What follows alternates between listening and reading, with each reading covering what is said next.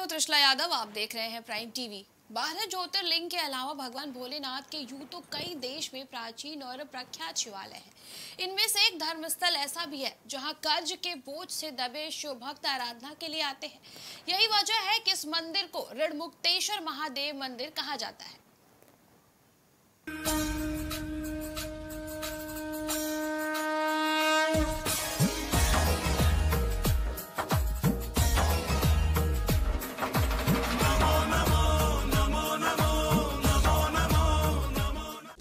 प्रयागराज का ऋण मुक्तेश्वर महादेव मंदिर। यहाँ की प्राकृतिक छटा है निराली। मंदिर से जुड़ी है अनोखी मान्यता। पुराणों में भी इस मंदिर का है उल्लेख। कर्ज से मुक्ति के लिए यहाँ आते हैं शिव भक्त। जलाभिषेक करने से मिलती है कर्ज से मुक्ति। जल और पंचामृत के अभिषेक से खुश होते हैं बाबा। सावन के महीने में भगवान शिव की आराधना के लिए ऐसे तो शिवालयों में भक्तों की भारी भीड़ उमड़ती है लेकिन प्रयागराज का यमुना तट किनारे भोलेनाथ भंडारी का ऐसा मंदिर जहाँ कर्ज से डूबे शिव भक्त खास आराधना के लिए आते हैं। ज्योतिर्लिंग के अलावा भगवान भोलेनाथ के यूतो देश में कई प्राचीन और प्रख्यात शिवालय हैं लेकिन प्रयागराज के प्राचीन व प्रसिद्ध शिव मंदिर की विशेषता से आप भी परिचित हो। यहाँ का मन कामेश्वर मंदिर लाखों लोगों की आस्था का केंद्र है। मुगल बादशाह अकबर के किले के निकट यमुना नदी के तट पर स्थित मनकामेश्वर मंदिर में शिव जी अपने विविध रूपों में विद्यमान है। मंदिर में भगवान शिव के अलावा सिद्धेश्वर और ऋण मुक्तेश्वर महादेव का शिवलिंग भी विराजमान है।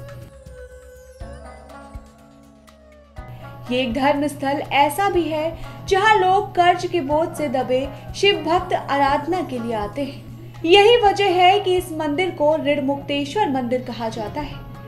प्रयागराज के यमुना तट पर ऋण मुक्तेश्वर के नाम से मशहूर भगवान शिव के शिवालय का उल्लेख पुराणों में भी मिलता है।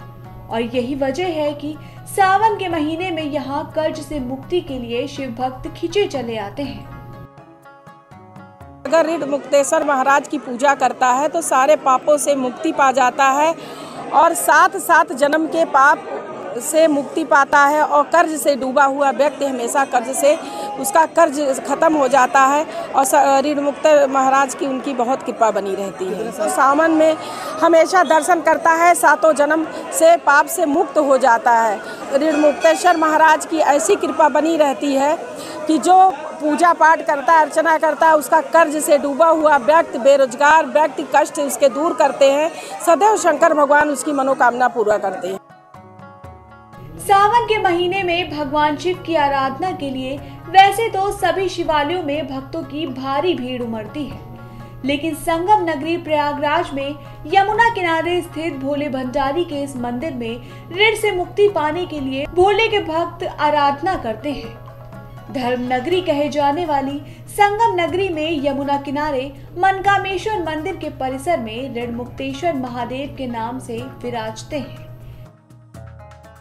आप एक जो मत्स्य पुराण और कुर्म पुराण में और प्रयाग महात्म में, स्कंद पुराण में भी ये चार पुराणों के द्वारा ये जाना जाता है कि अक्षय पट के समीप पश्चिम तट पर एक ऋण मुक्तेश्वर नाम का तीर्थ है।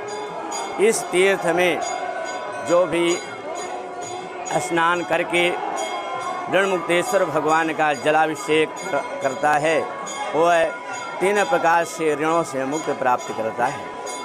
पितृण देव ऋण, ऋषि ऋण, इन ऋणों का उल्लेख किया गया है।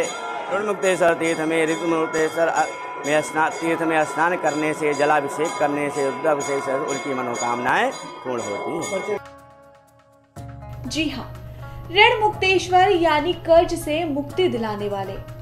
मान्यता ये है कि यहाँ दर्शन, पूजन और जलाभिषेक करने से श्रद्धालुओं की हर मनोकामना की पूर्ति होती है और कर्ज से मुक्ति मिलती है। कहा जाता है कि यहाँ आकर जिसने भी महादेव का दर्शन प्राप्त कर लिया, वो हर चिंता से मुक्त हो जाता है। सावन के महीने पर यहाँ शिव भक्तों का हुजूम उमड़ता है।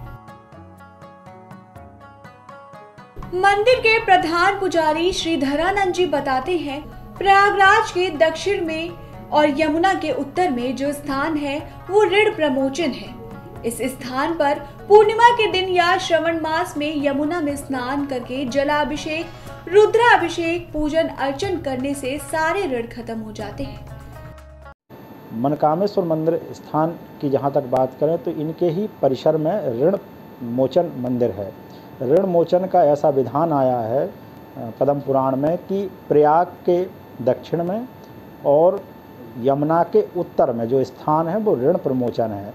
और उस स्थान पर पूर्णिमा के दिन या सावन के मास में कभी भी स्नान करने से, स्नान करके यमुना में और फिर उनका जलाभिषेक करें, रुद्राभिषेक करें तो जो ऋण होते हैं हमारे जीवन के, जैसे लोग पैसे का ही ऋण मानते हैं पर वो भी एक ऋण है और माता का ऋण भी होता है, पिता का ऋण भी होता है, भाई के ऋण भी होते हैं और जो कर्ज अगर हमारे जीवन में कभी हम किसी का ले लेते हैं और किसी कारण नहीं चुका पाते हैं तो उनका जलाभिषेक करने से उस ऋण से मुक्ति मिलती है। ऐसा पद्म पुराण में उल्लेख आता है। जो ऋण हम अपने जीवन में किसी से लेते हैं और किसी कारण नहीं चुका पाते तो ऋण मुक्तेश्वर का जलाभिषेक, रुद्राभिषेक और पूजन अर्चन करने से उस ऋण से मुक्ति मिलती है। ऐसा पद्म पुराण में उल्लेख आता है। यही वजह है कि श्रवण मास में दूर दराज से श्रद्धालु यहाँ पर आकर भोले बाबा का पूजन अर्चन और जलाभिषेक करते हैं। भक्तों का कहना है कि कर्ज में डूबे लोग इस मंदिर में भगवान ऋण मुक्तेश्वर की शरण में ये उम्मीद लेकर आते हैं कि उनका भी ऋण ऋण मुक्तेश्वर महादेव की दया से उतर जाएगा। श्रद्धालु कहते हैं कि जो भी श्रद्धा भाव से ऋण मुक्तेश्वर पर जलाभिषेक, पूजन, अर्चन करता है, उसका इस जन्म के साथ साथ सातों जन्म के पाप और ऋण से मुक्ति मिल जाती है। भोलेनाथ अपने भक्तों पर कृपा बरसाते हैं और अपने सच्चे भक्तों पर हमेशा दयाल रहते हैं। तो आप भी इस मंदिर में आकर दर्शन करके मोक्ष की प्राप्ति कर सकते हैं। Desk report, prime TV. हमारे रिपोर्ट में इतना ही। देखते रहिए प्राइम टीवी।